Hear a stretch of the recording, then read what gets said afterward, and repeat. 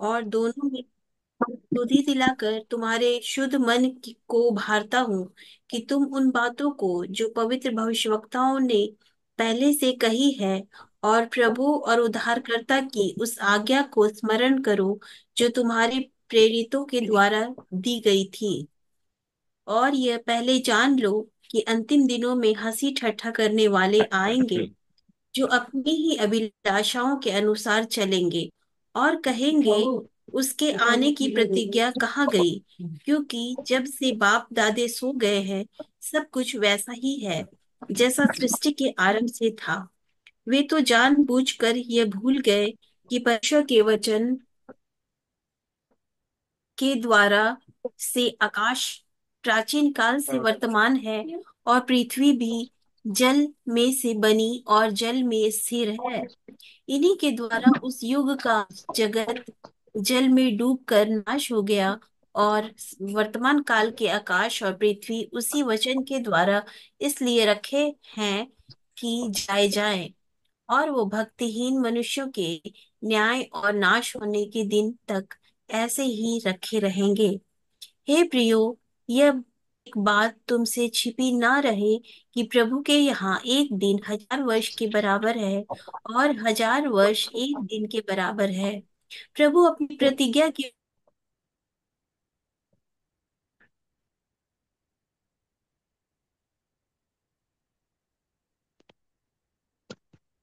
पढ़ते जाओ, आगे, आखिरी तक पढ़ो।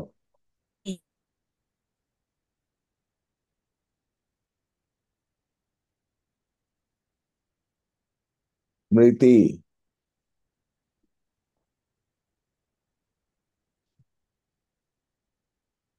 हे प्रियो, यह बात तुमसे छिपी न रहे कि प्रभु के यहाँ एक दिन हज़ार वर्ष के बराबर है और हज़ार वर्ष एक दिन के बराबर है।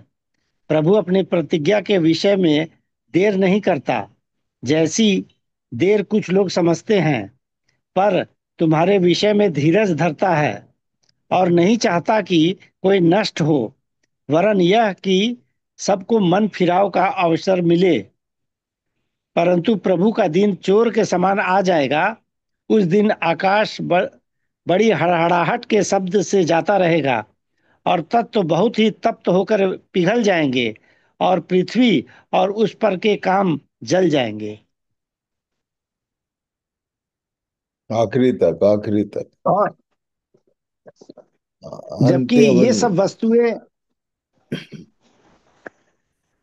ठीक है जबकि ये सब वस्तुएँ इस रीति से पिघलने वाली है तो तुम्हें पवित्र चाल चलन और भक्ति में कैसे मनुष्य होना चाहिए? और परमेश्वर के उस दिन की बाट किस रीति से जोहना चाहिए?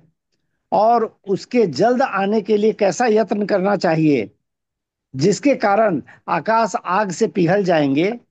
और आकाश के गण बहुत ही तप्त होकर गल जाएँगे। पर उसकी प्रतिज्ञा के अनुसार हम एक नए आकाश और नई पृथ्वी की आस देखते हैं, जिनमें धार्मिकता वास करेगी। इसलिए, हे प्रियो, जबकि तुम इन बातों की आस देखते हो तो यत्न करो कि तुम शांति से उसके सामने निष्कलंक और निर्दोष ठहरो और हमारे प्रभु के धीरज को उद्धार समझो। जैसा हमारे प्रिय भाई पौलुस ने भी उस ज्ञान के अनुसार जो उसे मिला तुम्हें लिखा है। वैसे ही उसने अपनी सब पत्रियों में भी इन बातों की चर्चा की है जिनमें कुछ बातें ऐसी हैं जि, जिनका समझना कठिन है और अनपढ़ और चंचल लोग उनके अर्थों को भी पवित्र शास्त्र की अन्य बातों की तरह खींच तान कर अपने ही नाश का कारण बनाते हैं। इसलिए, हे प्रियो, तुम लोग पहले ही से इन बातों को जानकर चौकस रहो, ताकि अधर्मियों के भ्रम में फंसकर फंसकर अपनी स्थिरता को कहीं हाथ से खो न दो। पर हमारे प्रभु और उद्धारकर्ता यीशु मसीह के अनुग्रह और पहचान में बढ़ते जाओ। उसी की महिमा अब भी हो। और युगान युग होती रहे। आमीन। आमीन। तो प्रभु इन वचनों के द्वारा आज हमारा मार्गदर्शन करे। बहुत सारे विषय है इसमें। मैं केवल पॉइंट आउट करूँगा इन इन बातों पर ध्यान लगाना है सबको। सबसे पहली बात यदि मैं बताऊँ तो उसके तीसरे पद को पढ़िए। तीसरा और चौथा तीन और चार को एक बार और पढ़ लो। और यह पहले जान लो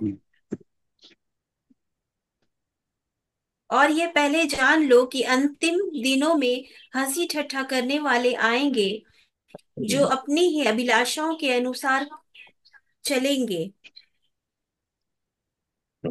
चार भी और कहेंगे उसके आने की प्रतिज्ञा कहाँ गई? क्योंकि जब से बाप दादी सो गए हैं सब कुछ वैसा ही है, जैसा सृष्टि के आरंभ से था। तो ये पहली बात है, इस पर अपना ध्यान लगाएँगे। अंतिम दिनों के विषय में एक बात लिख दिया पतरस ने, कि पहले जान लो, सबसे पहली बात ये तुम जानो कि अंतिम दिनों में हँसी ठट्ठा करने वाले आएँगे, और जब जब अंत की बात आएगी, अंत की चर्चा होगी, इस संसार, पृथ्वी के अंत की बात होगी तो बहुत सारे लोग हँसी ठट्ठा करके कहेंगे कि अरे, जब था वैसी है। कहाँ लिखा है? लोग बोलते हैं, अंत आएगा पर आता नहीं है। ये इसके विषय में मज़ाक करेंगे। कौन लोग मालूम? अन्य जाति लोग नहीं, उनको तो बेचारों को पता ही नहीं कि अंत भी होने वाला केवल जो क्रिश्चियन वर्ल्ड में जिन लोग हैं, जिनको थोड़ा बहुत कुछ आइडिया है, उन लोग हँसी मज़ाक करने, करते दिखाई देंगे आपको। ध्यान करो, सबसे पहले जान लो, अंतिम दिनों में ऐसे मेंटलिटी के लोग होंगे और अपनी अपनी अभिलाषाओं के अनुसार चलेंगे। अभी तो जी लो, यहाँ दुनिया में सब कुछ आगे क्या होगा, कौन जानता है, ऐसा बोलते हैं लोग। तो पहली बात ये, इस पर ध्यान करो, अपने आस पास ध्यान करो, बहुत सारे लोग ऐसे दिखाई देंगे, जो हँसी अंत की बात बोलने से या सुनने से बोलते हैं कि ये सब मज़ाक की बात समझते हैं, पहली बात। दूसरी बात, ये एक दिन हज़ार वर्ष के बराबर, इसके विषय में मैं बहुत बार बताया हूँ। ये एक दिन हज़ार वर्ष का जो हिसाब है, ये पूरी पृथ्वी का, इस दुनिया के मानुषिक जगत का जो उम्र है, परमेश्वर के वचन के अनुसार, सात हज़ार साल का है हम लोग जानते हैं। इसके विषय में एक लाइन लिखा है, ये इब्रानी की पत्री, उसका चार अध्याय, उसके एक पद से पढ़ो। एक एग्ज़ाम्पल दे के समझाया है। पढ़िए इब्रानी चार उसका एक से दस तक पढ़ेंगे। पहले पहला और दूसरा पढ़ लो। जी। इसलिए जबकि उसके विश्राम में प्रवेश करने की प्रतिज्ञा अब तक अब है। तक बाकी है। और ये उसके विश्राम उसका विश्राम जिसको कहते हैं वो आया नहीं मैं बार बार बताता हूँ आप लोगों को सबको पता है कि नहीं। ये विश्राम का दिन परमेश्वर के वचन के अनुसार सातवां हज़ार साल है जो अभी तक आए नहीं है। उसके नौ और दस पद को पढ़ लो बाकी को पूरा पढ़ लेना। नौ और दस पढ़ो सो जान लो। सो जान लो कि परमेश्वर के लोगों के लिए सब का विश्राम बाकी है। सप्त का विश्राम अभी आया ही नहीं। ये जो हम लोग सप्त का विश्राम बोलते हैं जो संडे वर्शिप होती है वो सप्त का विश्राम नहीं है भाई। इब्रानी में वही बोल रहा है। आगे पढ़ो नौ और दस फिर से पढ़ लो। सो जान लो कि हाँ। परमेश्वर के लोगों के लिए सब हम्म। का विश्राम बाकी है। बाकी है। जिसने उसके विश्राम में प्रवेश किया है उसने भी परमेश्वर की नाई अपने कामों को पूरा करके विश्राम किया है। ये सप्त का विश्राम के विषय में उत्पत्ति एक अध्याय में, ये दो अध्याय में ये बात लिखा है, हम लोग सब जानते हैं, वहाँ से शुरू हुआ है सप्त का विश्राम, सातवां दिन, जिसको परमेश्वर का विश्राम का दिन कहा गया, छह दिन उसने काम किया, सातवें दिन विश्राम किया। और तब यहाँ पर मेंशन किया कि उसने, परमेश्वर ने अपने कामों को पूरा करके विश्राम किया। वैसे ही उस विश्राम में वो लोग प्रवेश करेंगे जिन्होंने इस पृथ्वी पर के अपने सारे कामों को पूरा किया। परमेश्वर ने हमारे लिए इफिसी दो का दस पढ़ लो, उधर क्या लिखा है? उसने हमको नया जीवन दिया, नया बनाया, क्यों? उसका कारण लिखा हुआ, पढ़ो। इफिसी दो का दस।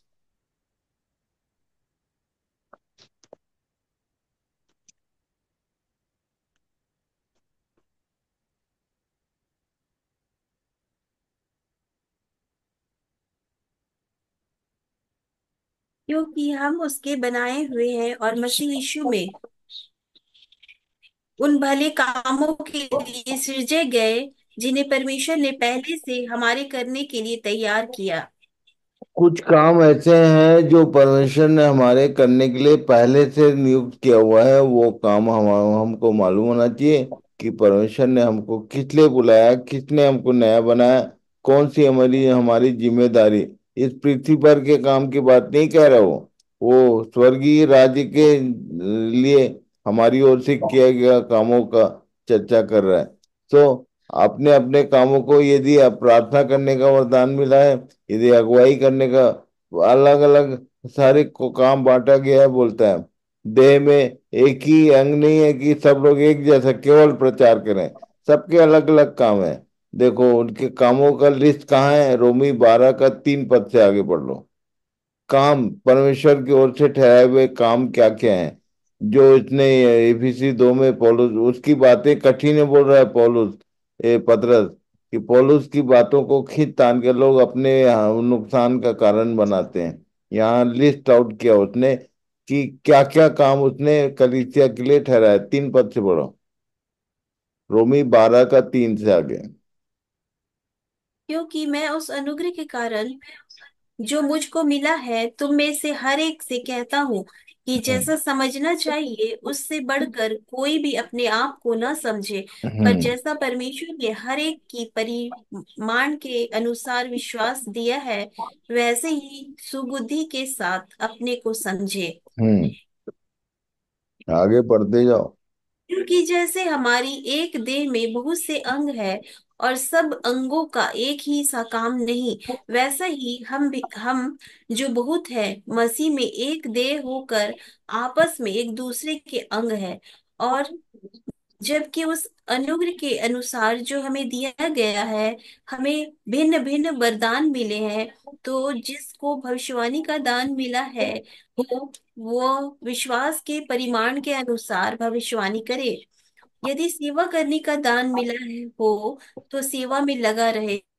यदि कोई सिखाने वाला हो तो सिखाने में लगा रहे। जो उपदेशक हो वो उपदेश देने में लगा रहे। दान देने वाला उदारता से दे। जो अगुवाई करे वो उत्साह से करे। जो दया करे वो हर्ष से करे। प्रेम निष्कपट हो बुराई से घृणा करो भलाई में लगे रहो। भाईचारे के ये प्रेम से सारे दूसरे वरदान है। प्रेम करना भी वरदान है। दान देना भी, वरदान है, सेवा करना भी, ये जो अलग अलग जितने ये सब वरदान परमेश्वर ने अलग अलग सबको दिए, सब लोग सब काम नहीं कर सकते। किसी को कोई एक वरदान मिला।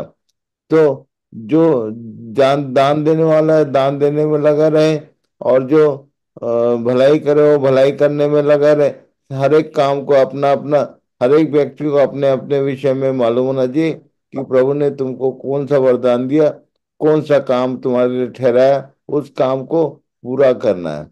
ये कह रहा है। वो तो इसलिए इस विषय को ध्यान में रखो, सब लोग मिलके। आप एक दूसरे को एनकरेज करो कि भाई, एक अपने आप को जानो कि किस काम के लिए परमेश्वर ने तुम्हारी नियुक्ति की है देह में। देह के हर एक अंगों का एक जैसा काम नहीं है, सबको अलग अलग उसने ठहराया कि कोई ये करेगा, कोई वो करेगा। और सबको अपने काम को पूरा करके विश्राम में प्रवेश करना है। और विश्राम बोलने से हम लोग सब जानते हैं मिलेनियम जो हज़ार वर्षीय राज्य आने वाला है, उसमें प्रवेश यदि पाना है तो निश्चित रूप से हमको अपने अपने कार्यों को पूरा करना है। इसलिए पतरस लिख रहा था, दूसरा पतरस तीन अध्याय को फिर से वापस आ जाओ जरा, ग्यारह पद से आगे पढ़ो।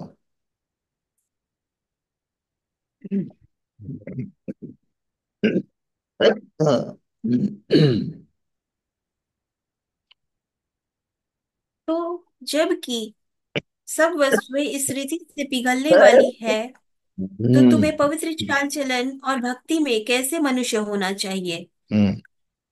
और परमेश्वर के उस दिन की बाट किस रीति से जोहना चाहिए और उसके जल्द आने के लिए कैसा यत्न करना चाहिए? हम्म। जिसके कारण आकाश आग से पिघल जाएँगे और आकाश के गण बहुत ही तप्त होकर गल जाएँगे। पर उसकी प्रतिज्ञा के अनुसार हम एक नए आकाश और नई पृथ्वी की आस देखते हैं जिसमें धार्मिकता वास करेगी। ये दस पद को एक बार फिर से पढ़ो। परंतु प्रभु का दिन चोर की नाई आ जाएगा उस दिन आकाश बड़ी हड़हड़ाहट के शब्द से जाता ये रहेगा हम लोग और भारत देश में रहते हैं हमको मालूम नहीं कि हड़हड़ाहट का शब्द जो ये बोल रहा है, वो किसको बोलते हैं? जहाँ पर जेट विमान फाइटर प्लेन सब चलते हैं, उन लोग जानते हैं कि हड़हड़ाहट का शब्द कैसा होता है। और तब ये मिसाइल एज की बात कर रहा है कि कैसे तत्व बहुत ही तप्त होकर जब मिसाइल वार होगा और फाइनल उसी की तैयारी चल रही है, अभी पूरे संसार में ये थर्ड वर्ल्ड वार का माहौल बना हुआ है।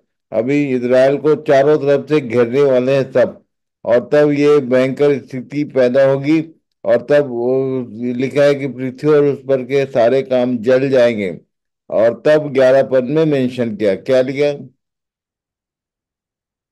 सो तो जबकि ये सब बातें वस्तुएँ इस रीति से पिघलने वाली हैं तो तुम्हें पवित्र चाल चलन और भक्ति में कैसे मनुष्य बहुत सारे लोग हैं जो शुरू में मेंशन किया कि अपने अपनी अपनी अभिलाषाओं को पूरा करते हुए दिन काटते रहेंगे पर कुछ लोग हैं जिनको चिता रहा है कि तुमको भक्ति में कैसे मनुष्य होना चाहिए? अपनी अभिलाषाओं को पूरा मत करो, अपनी अपनी जिम्मेदारियों को पूरा करो, जिसको प्रार्थना करने का वरदान है, जिसको प्रार्थना करने का, करना आता है ही हैज़ टू प्रे यदि याकूब चार का सत्रह पढ़ो, क्या लिखा है?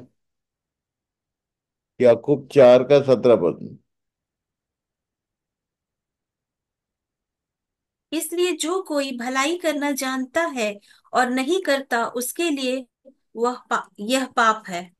ये मतलब जो कुछ तुम जानते हो यदि प्रार्थना करना आता है प्रार्थना प्रार्थना जो है भलाई का काम है।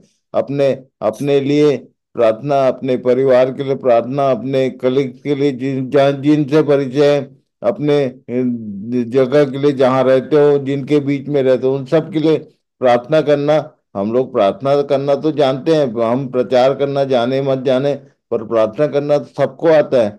यहाँ लिखा है, जो भलाई करना जानता है और नहीं करता, वो उसके लिए पाप है। इसलिए इस विषय को ध्यान में रखना कि ये हमको भक्ति में और चाल चलन में कैसे मनुष्य होना चाहिए, ऐसे समय में, जबकि ये सारी वस्तुएँ इस रीति से पिघलने वाली हैं। और बारह पद में क्या लिखा दूसरा दूसरा पत्र तीन का, बारह पढ़ो। और परमेश्वर के उस दिन को परमेश्वर के उस उस दिन दिन की की बाट किस रीति से?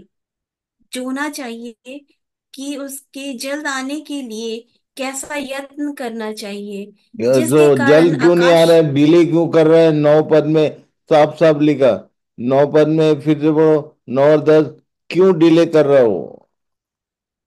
प्रभु अपनी प्रतिज्ञा के विषय में देर नहीं करता जैसी देर कितने लोग समझते हैं पर तुम्हारे विषय में धीरज धरता है और नहीं चाहता कि कोई नाश हो वरन यह कि सबको मन फिराव का अवसर मिले।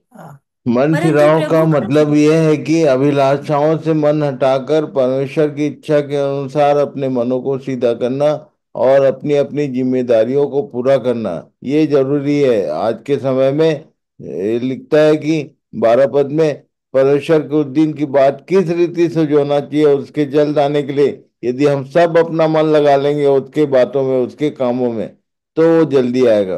कई लोग पूछते हैं मेरे से, कब तक ये होते रहे, कब तक हम प्रभु का राग रास्ता देखें? ऐसा कई लोग पूछते एक दिन दीदी भी ऐसे कुछ पूछ रही थी, कितना दिन में आएगा वो प्रभु? तो वो आना चाहता है, पर हमारे हम में से बहुत सारे लोगों के काम पूरे नहीं है हम में से बहुतों की तैयारी पूरी नहीं है। बहुत सारे काम वो देखता है कि यदि आ गया तो बहुत सारे लोग नुकसान में जाएँगे। इसलिए वो डिले करते रहता है वो देर करते रहता है धीरज धरता है नहीं चाहता कि कोई नाश हो। उसके आने के समय में यदि आज वो आ जाए तो हमारी तैयारी पूरी है कि अपने आप से पूछो अपने आप को आंसर दो। और तब तेरह पद में क्या? पर उसकी प्रतिज्ञा के अनुसार हम एक नए आकाश और नई पृथ्वी की आस देखते हैं, जिसमें धार्मिकता बास करेगी। तो ये नए आकाश और नई पृथ्वी में एंट्री किसकी होगी? धार्मिकता की होगी। धार्मिकता के विषय में यीशु ने शुरू में ही कहा था, मत्ती छः के तैतीस में लिखा है। क्या लिखा? मत्ती छः का तैतीस।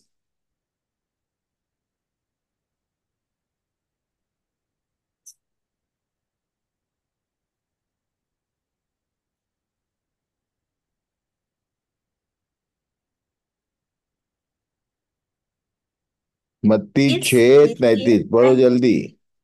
इसलिए पहले तुम उसके राज्य और धर्म की खोज करो तो ये सब वस्तुएँ भी तुम्हें मिल जाएगी। ये लिखा है कि पहले तुम उसके सो राज्य और धर्म धर्म नहीं है वो धार्मिकता है। तो धर्म और उसके राज्य और धार्मिकता की खोज करनी चाहिए हम लोग को अभी भी हो सकता है कि धार्मिकता के विषय में उसके लिए हिंदी इंग्लिश में वर्ड है righteousness righteous righteousness right doing person righteous कहलाता है धर्म धार्मिक कहलाता है। सो so, इन सब बातों को ठीक ठीक समझो और समझाओ एक दूसरे को। सोलह पद में पौलुस की पत्रियों के विषय में पतरस ने लिख दिया एक बात। क्या लिखा?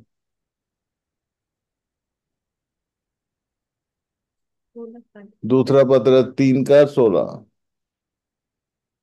वैसे ही उसने अपनी सब पत्रियों में भी इन बातों की चर्चा की है जिनमें कितनी बातें ऐसी है जिसका जिनका समझना कठिन है और अनपढ़ और चंचल लोग उन उनके अर्थों को भी पवित्र शास्त्र की ओर और बातों की नाई खींच तान कर अपने ही नाश का कारण बनाते हैं। कौन लोगों को भी नाश का कारण बनाते हैं? पवित्र शास्त्र की बातों को अनपढ़ और चंचल लोग अनपढ़ बोलने से कौन?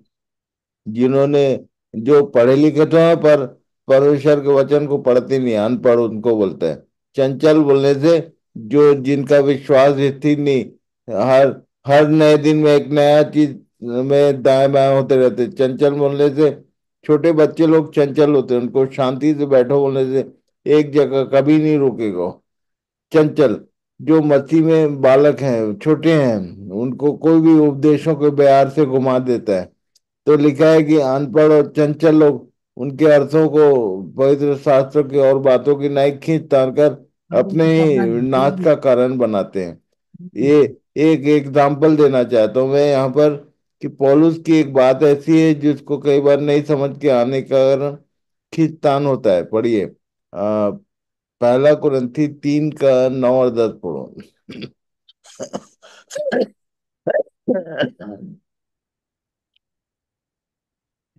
क्योंकि पहला परमेश्वर कुरिन्थी के सहकर्मी हाँ पढ़ो। क्योंकि हम परमेश्वर के सहकर्मी हैं तुम परमेश्वर की खेती और परमेश्वर की रचना हो। May we read in English Ranju.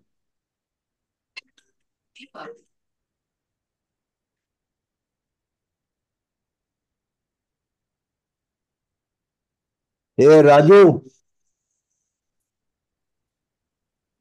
Phone कर। और we are God's fellow workers you are God's field you are God's building according to the you you are you are God's building building बोल रहा है। ए, रचना को building बोलता है। और तब आगे क्या लिखा है? नौ पद में ए, दस पद में tenth verse according to the grace of God, which was given to me as a wise master builder, I have laid the foundation, and another builds on it. अच्छा But रुको ये पौलुस क्या बोल रहा है as a master builder master builder किसको बोलते हैं मालूम है we we will try to understand it फिर से पढ़ो उसको दस पद को हिंदी में पढ़ लो भाई स्मृति। परमेश्वर के उस अनुग्रह के अनुसार जो मुझे दिया गया मैंने बुद्धिमान मैंने बुद्धिमान राज मिस्त्री की नाई नेव डाली और राज मिस्त्री बोल रहा है। रखता है। और राज मिस्त्री वर्ड यूज़ किया? हिंदी में मास्टर बिल्डर के लिए हिंदी में वर्ड आया राज मिस्त्री राज मिस्त्री बोलने से जो जो बिल्डिंग बनाता है और बिल्डिंग बनाने वाले के हाथ में एक चीज़ रहता है यू सी आमोस सात अध्याय। आमोस नबी की पुस्तक सात अध्याय उसका सातवां पद पढ़ो। ये बहुत जल्दी आने होने वाला है इसको ये सब लोग ध्यान रखो। क्या लिखा? आमोद सात का सात। आमोस सेवन उसने सेवन। मुझे यह भी जी मामा उसने मुझे यह भी दिखाया मैंने देखा कि प्रभु साहुल लगाकर बनाई हुई किसी भीत पर खड़ा है और उसके हाथ में साहुल है। ये ये जो प्रभु है ये साहुल लगाकर किसी भीत के किसी कंस्ट्रक्शन के बगल में खड़ा है। ये विजन है कब का मालूम है? एंड टाइम का। वो आएगा तो साहुल लगाएगा याद रखना। साहुल बोलने से what what is in English Ranju? Plumb line. plumb plumb line. Maybe you can understand better. Plumb line. Plumb line किसको बोलते हैं मालूम है? वो एक धागा डोरी और पीतल का एक रहता है। किनके पास? जो राजमिस्त्री होते हैं उनके पास। क्या देखता है वो? कि सही नाप जोग में दीवार खड़ा हो रहा है कि आड़ा तिरछा हो रहा है? सब चीज़ को चेक करता है। नाप जोग चेक करने का एक इंस्ट्रूमेंट है वो प्लम लाइन ये इसी से देखा जाता है कि घर ठीक बन रहा है कि नहीं बन रहा है। घर, यदि घर प्लम लाइन के भीतर नहीं होगा तो घर गिर जाता है या बाद में क्रेक हो जाता है। आज चर्चेज में क्रेक क्यों हो रहा है? क्यों डिस्प्यूट है? क्योंकि प्लम लाइन के बाहर है, सारे सारे कंस्ट्रक्शन प्लम लाइन से बाहर है। अपने अपने विषय में ध्यान करो कि परमेश्वर के वचन के अनुसार जिस दिन वो आएगा, वो चेक करेगा कि कौन किस जगह पर है। तुम सीधे हो, उसके वचन के अनुसार नहीं हो तो उस दिन वो बहुत मुश्किल होगा। एंट्री नहीं होगी। Righteous righteous right right doing person will only enter in the new creation नए पृथ्वी और नया आकाश में वही जाएगा जो भले काम करने के आदि हैं। इसलिए बोल रहे इच्छित आ रहा है। फिर से दूसरा पत्र तीन अध्याय का ग्यारह से आगे पढ़ लो। ग्यारह और बारह पढ़ लो। ग्यारह बारह तेरह। तो, तो जबकि ये सब वस्तुएँ इस रीति से पिघलने वाली है तो तुम्हें पवित्र चाल चलन और भक्ति में कैसे मनुष्य होना चाहिए? और परमेश्वर के उस दिन की बाट किस रीति से जोना चाहिए? और उसके जब भी वो आएगा तो प्लम लाइन लगाएगा। किस रीति से जो होना चाहिए? कहने का मतलब ये चिता रहेगी तुम तुमको उसके आने के लिए कैसा तैयारी रखना चाहिए? कैसा तुम्हारा चाल चलन कैसा भक्ति होना चाहिए? क्या लिखा आगे? किस रीति से जोना चाहिए और उसके जल्द आने के लिए कैसा यत्न करना चाहिए, जिसके कारण आकाश आग से पिघल जाएँगे और आकाश के कण बहुत ही तप्त होकर गल जाएँगे। पर उसकी तेरह प्रतिज्ञा के अनुसार ठीक है ठीक है पढ़ो। एक नए आकाश हम एक नए आकाश और नई पृथ्वी की आस देखते हैं जिसमें धार्मिकता बास करेगी। आगे। इसलिए हे प्रियो जबकि तुम इन बातों की आस देखते हो तो तो यत्न करो कि तुम शांति से उसके सामने निष्कलंक और निर्दोष ठहरो। और प्रभु हमारे सहायता प्रभु करे। के okay okay it's all right प्रभु सहायता करे कि आज इन गंभीर विषयों पर आ, दीदी अक्सर फ़ोन करती है न्यूज़ देखते रहती है और उसके बाद उसको फ़ोन करती है कि इसराइल का ऐसा हो रहा है इसराइल का वैसा। ये सब एंड टाइम का साइन है हम लोग सब जानते हैं अच्छे से। ये युद्ध है ये वो अंत होने का ये आकाश और पृथ्वी जल जाएँगे उसकी तैयारी हो रही है। वो सब देखो और अब खुद को तैयार करो सब लोग। एक दूसरे को समझाओ, चिताओ, बताओ कि बहुत जल्द वो दिन आने वाला है जब एंड आएगा। और एंड आएगा तो सबसे पहले तो प्लम लाइन लगाएगा कौन उसके नए पृथ्वी और नए आकाश में एंटर करेगा, नहीं करेगा। इसलिए इस विषय में एक बार फिर से चौदह पद पढ़ लो। हे प्रियो, जबकि तुम इन बातों की आस देखते हो, जब हमको आशा है कि हम एंटर करेंगे तो क्या लिखा है? यत्न करो। ये इंग्लिश में पढ़ो क्या लिखा है Ranju? Fourteen Therefore, beloved, looking forward to these things, be diligent to be found by him in peace yes ये इस बात को याद रखो सब लोग। और एक दूसरे को सिखाओ चिताओ एक दूसरे को समझाओ कि देखो भाई उसके सामने शांति से उसके सामने निष्कलंक निर्दोष ठहरो। उस दिन लोग जब वो आएगा तो अशांत हो जाएँगे डिस्टर्ब हो जाएँगे मेंटली फिजिकली और फैमिली में बहुत डिस्टर्ब हो जाएँगे। क्यों? क्योंकि वो बहुत सारे लोग हमारे बीच में थे। यीशु ने बोला, दो जन एक खाट में होंगे, एक जन उठा ली जाएगा। का मतलब एक जन छूट जाएगा, एक जन चले जाएगा। ऐसा भी हो सकता है। एक फैमिली में पत्नी चली गई, पति रह गया। पति चला गया, पत्नी रह गई। बच्चे चले गए माँ बाप रह गए माँ बाप चले गए बच्चे रह गए। ऐसा हो सकता है। It is it is possible एक एक नई मूवी आई है ज़रूर देखना। लेफ़्ट बिहाइंड देख लेना। ये हो सकता है देख ली होगे। किसी ने देखा हो मूवी लेफ़्ट बिहाइंड करके अभी यूट्यूब में अवेलेबल है। About rapture the film is there वाला देखा है। देखा? लेफ़्ट लाइन लेफ़्ट बिहाइंड करके एक नई मूवी आई है। Left behind left behind you should watch सबको देखना चाहिए ज़रूर। देखो और तैयारी करो कि छूट मत जाए। कैसा वाला रैप्चर का सीन दिखाए। दैट्स वेरी बहुत इंटरेस्टिंग है। देखना ज़रूर उसको। अच्छा ब्रदर जो छूट जाएगा उसका तो अगर जाना है तो, तो उसको तो गला कटाना है। क्योंकि हाँ वो तो सब खाना होने भी नहीं वाला है। मिलेगा। जो छूट जाएगा वो बहुत कठिन परिस्थितियों में एंटर करेगा और उस समय लिखा है कि जैसे जैसे समस्या बढ़ते जाता था तो प्रकाशित वाक्य में लिखा है इतना होने पर भी लोगों ने मन नहीं फिराया और हार्ड हो जाएँगे लोग। तकलीफ़ तकलीफ़ बढ़ते जाएगा तो बोलेंगे कहाँ गया ईश्वर? कहाँ वो प्रेमी परमेश्वर? अभी भी लोग बोलते हैं कि ऐसा प्रेम करने वाला परमेश्वर सजा कैसे देगा? ऐसे क्रिश्चियन लोगों का क्वेश्चन मैं देखा हूँ। पूछते हैं लोग कि प्रेम करने वाला परमेश्वर इतना विनाशक नहीं हो सकता। ऐसा वो लोगों का कल्पना है। और जब विनाश आएगा, तब लोग और कट, और हार्ड हो जाएँगे और और उनके हृदय कठोर हो जाएँगे। लिखा है कि इतना होने पर भी लोगों ने मन नहीं फिराया। प्रकाशित वाक्य में बार बार ये लाइन दिखाई देगी। इसलिए छूट जाने का नहीं पहले राउंड में जाने की तैयारी करो छूट जाएगा वो फंसेगा। बहुत कठिन परिस्थितियाँ होंगी ठीक है? हाँ। उसके विषय में दानियल बारह का एक दो तीन पढ़ लो जरा एक बार या और याद दिला दो मैं क्या लिखा है? दानियल बारह उसका एक दो तीन ये बहुत जल्द देखने को मिलेगा।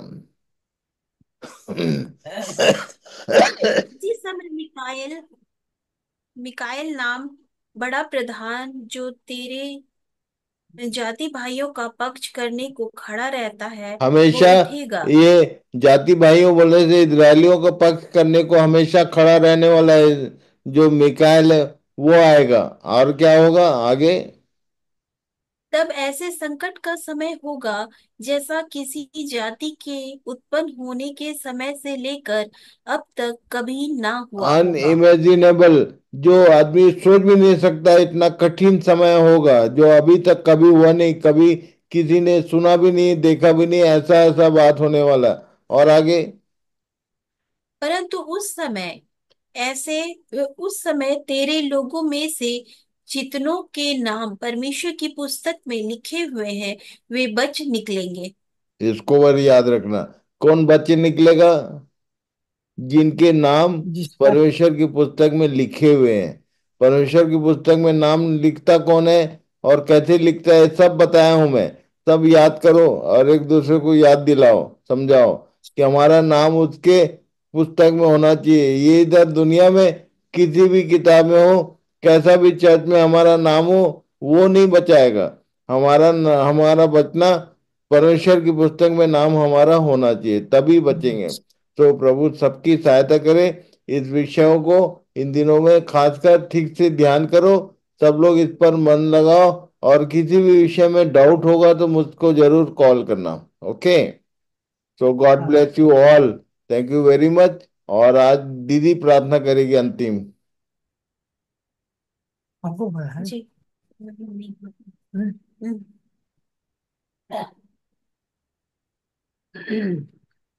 পবিত্র পবিত্র পবিত্র পরম পবিত্র পিতা কোটি কোটি ধন্যবাদ দিই তোমার। এই সুন্দর একটা নতুন দিন তুমি আমাদের দেখতে দিয়েছ। এত বয়স হয়েছে কিন্তু তুমি আমাদের উপর মহা দয়া করে এখনও দিন তুমি দেখতে দিয়েছ।